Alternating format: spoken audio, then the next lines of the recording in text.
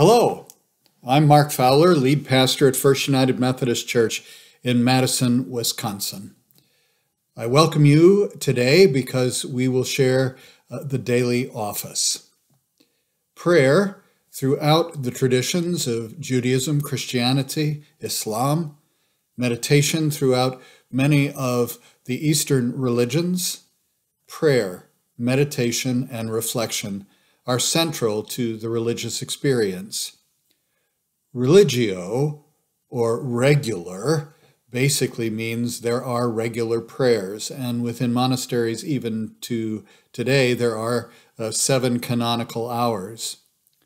In the Protestant movement, we reduced the number seven uh, to two because they were not reserved simply for monastics, but for all people the morning, the evening, office. Some experience it at noontime. But regular prayer is an invitation, especially in this time of pandemic, to stop and to set aside a period for reflection, prayer, and for God and each other. So, will you join me in today's daily office? This is from the 51st Psalm. Open my lips, O God, and my mouth shall proclaim your praise. Create in me a clean heart, and renew a right spirit within me. Cast me not away from your presence, and take not your Holy Spirit from me. Give me the joy of your saving help again, and sustain me with your bountiful Spirit. Glory be to you, O God, our parent, our Jesus, and the Spirit of holiness. And it was in the beginning, is now, and ever shall be, world without end. Amen. In the United Methodist hymnal, there are affirmations of faith.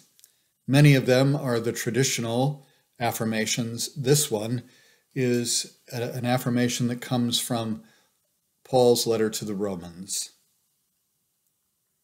Who shall separate us from the love of Christ?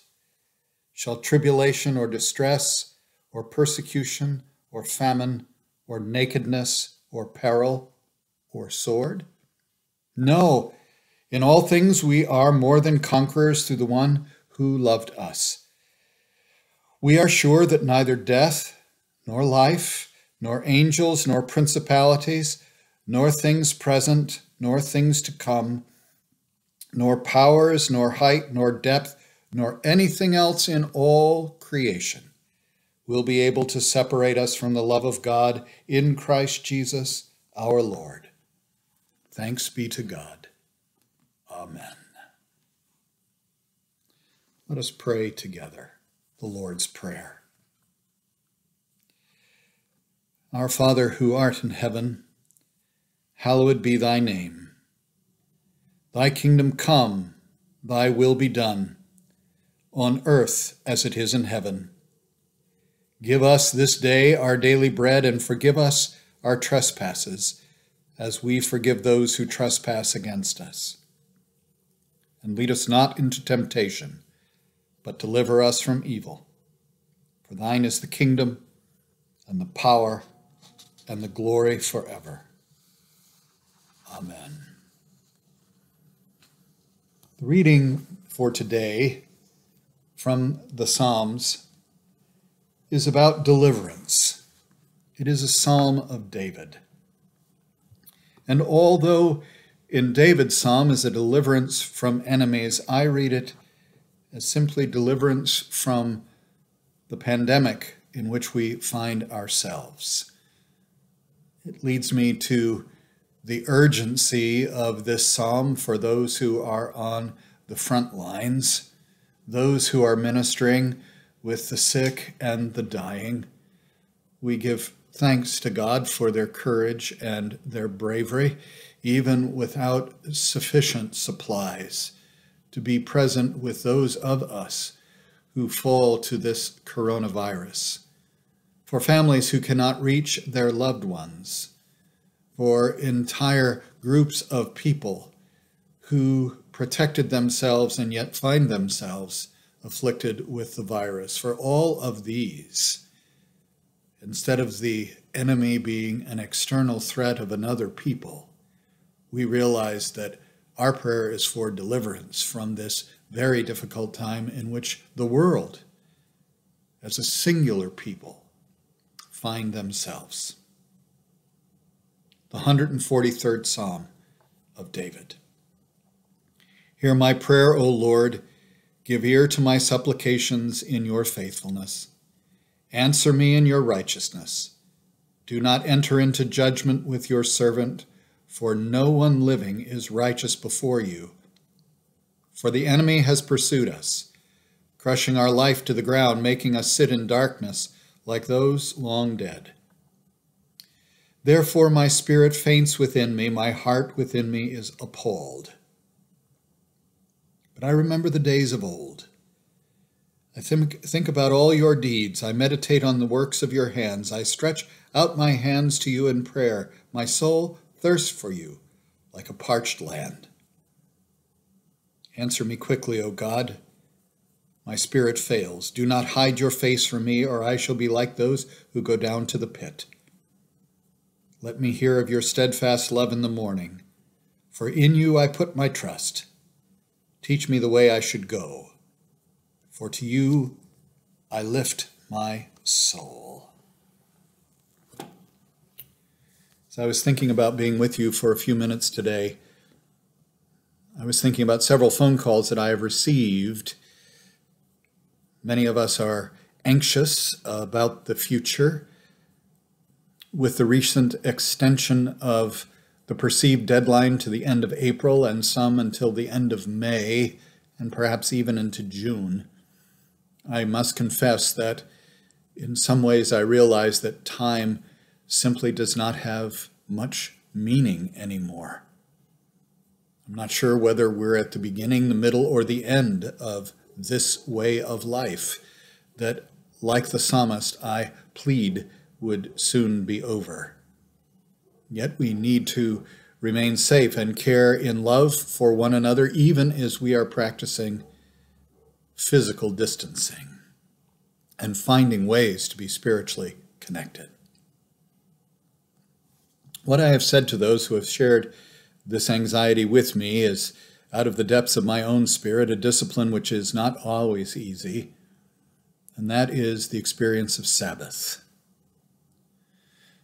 Sabbath usually was one day in seven, but I've begun to realize it needs to be two times per day for me. Perhaps it is the pattern of morning and evening prayer. When Susan and I got married one to another, that wonderful day, we realized that both of us were predisposed to work long and hard hours, and that it would consume us morning, noon, and night. And for that, uh, by and large, we were praised by those institutions for which we worked and by the society that surrounded us.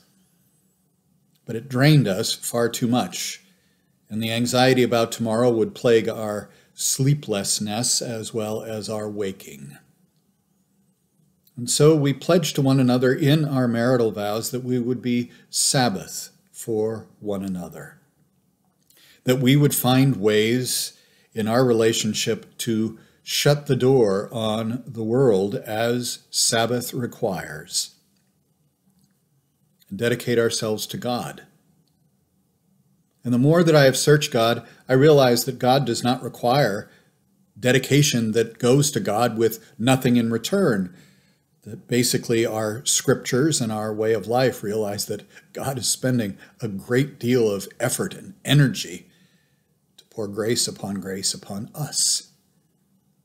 So as we dedicate ourselves to God, as we find the love of God in our lives, we find that love within the circle of friends, family, spouse. And with that singular attention, to close the door, if only for moments in the morning and moments in the evening, and invite the world and its troubles to go away. Dedicate ourselves to God and to one another. That is Sabbath. For those who are afflicted with this virus, the invitation is the same as much as it is possible. Between those struggled breaths, in the worry about tomorrow because the fever is too high.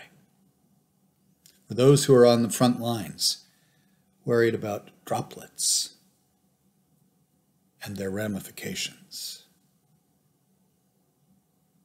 Sabbath, if only for a moment, to focus on the moment and the blessing of God and the life that we have. Sabbath. So may the Lord bless you and keep you. May the Lord make his face to shine upon you bless you into this day. In Jesus' name, amen.